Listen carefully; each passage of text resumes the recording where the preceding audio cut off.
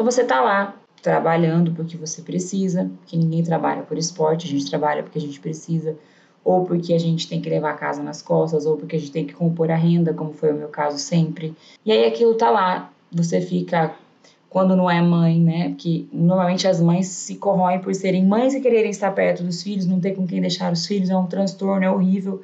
E aí tem que deixar em creche, tem que sair mais cedo da creche, tem que pedir favor pro vizinho, tem que pedir, pedir favor pra amiga, pra sogra, é, é terrível, né? Então, para as mães é muito comum. Mas acontece também com outras mulheres o seguinte: eu tô lá trabalhando no meu trabalho CLT, mas eu não tenho liberdade geográfica, eu não tenho liberdade de tempo. Eu tenho a obrigação de estar lá naquele horário, naquele dia. Eu tenho poucos dias de descanso todo ano. Eu tenho que trabalhar de sábado, eu tenho que trabalhar de domingo, eu trabalho de feriados, eu faço folgas no meio da semana. Quando todo mundo está passeando, eu tenho que trabalhar. Quando todo mundo vai viajar, eu tenho que trabalhar. E isso é muito difícil. Viver esperando feriado prolongado. Eu era essa pessoa quando depois que eu me tornei mãe, principalmente. Eu vivia, virava o ano, eu já batia o olho no calendário para procurar os feriados prolongados. E tinha ano que era uma beleza, porque era só feriado prolongado, maravilhoso, né? Mas tinha ano que era uma tristeza, que os feriados caíam tudo de sábado e de domingo. E aí não sobrava assim, sabe? Gente, eu nunca vou esquecer, presta atenção. Teve um ano que eu trabalhava na Yamaha emendou dois feriados em novembro. Eu nunca vou me esquecer. Novembro não, em dezembro, acho que foi. É dezembro que tem consciência negra, né?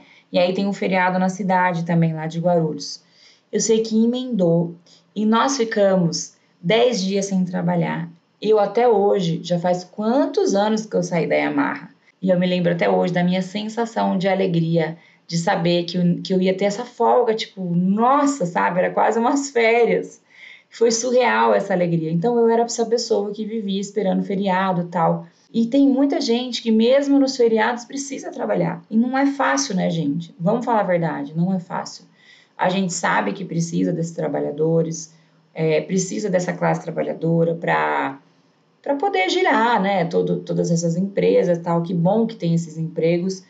Mas se isso é algo que te tira do centro, que te deixa triste, que te entristece, que te faz mal, se você sofre com aquela questão do, do domingo, como eu sofria, ouvir a musiquinha do Fantástico era um terror para mim. Eu não tô falando isso porque virou modinha falar isso, não, porque eu sofria mesmo, sabe? Era deprimente para mim. Chegou vez eu sair de Sorocaba meia-noite no domingo para ir embora, pegar Castelo Branco para São Paulo, furar pneu. Você acha, gente, de madrugada eu sozinha na Castelo Branco, mas por quê? Porque eu não queria, gente. Eu não queria mais. Só que eu tinha que ir, porque eu tinha obrigação. Então tem muita gente que vive nessa situação e fica meio que sem saída. E aí enxerga no empreendedorismo uma oportunidade de que sabe mudar de vida. E eu tô aqui para te falar que isso é possível sim. Claro que, é, por exemplo, eu ganhava um salário muito alto quando eu saí da, da, o meu último trabalho foi na ZF. E é óbvio que se eu tivesse, logo que eu, que eu saí das, da, da, da ZF, tivesse começado a trabalhar com laço, é óbvio que eu não ia começar ganhando o que eu ganhava lá. Hoje eu ganho muito mais, com os laços eu ganhava muito mais do meu salário que eu tinha lá, mas foi uma construção. Então é sobre isso que a gente tem que falar. É possível? É possível, mas não é do dia para a noite. Então você precisa ter uma programação pré-estabelecida. Você precisa fazer um planejamento disso tudo, dessa mudança na sua vida. Os laços, eles te permitem faturar de 3 a 5, 10 mil, 15 mil, tem aluna de 20 mil já. Então, é lógico que 20 mil não é, não é o comum. O comum é 5, 6, entendeu? Esse é, o, esse é o comum, razoável, né? Que a maioria consegue ganhar. Uma, uma laceira de sucesso que está bem, que já estabeleceu, de 5 a 7 mil. Mais que isso são os, as fora da curva, mas tem muitas gente fora da curva, vocês não estão entendendo, não. Tem muita gente que faz aí por mês no mínimo 12 mil. Então tem, é uma oportunidade, o negócio existe. Mas quem decide que vai começar com o artesanato, mas depende financeiramente ainda do seu salário CLT, precisa ir com calma. Porque se você depende financeiramente ainda do seu salário, você não pode simplesmente falar: Tchau, obrigado e correr para o artesanato. Por quê? Porque você vai ter um tempo de maturidade e nem sempre vai ser tão rápido quanto você espera. Pode ser que seja, porque eu conheço casos assim, né? Nós temos o caso da Aline, tá aí para vocês assistirem, depois se vocês quiserem procurar. Em dois meses ela saiu do faturamento de 200, 300 reais para faixa preta 5 mil reais, né? Mas é muito trabalho, é determinação, é foco, é, é estudar e aplicar. Ela entrou para o Tom 15 Ensina, você não ouvia nem ela conversar, de tanto foco. Ela só vinha lá explorar a pergunta para mim, para o Marcelo, para o Júlio, vamos, vamos, vamos. E ela fez, então existe, existe. Mas não é, não é comum, né? Então vamos supor que você está hoje, numa situação como essa, que eu estou trabalhando, e eu não estou feliz com o meu trabalho.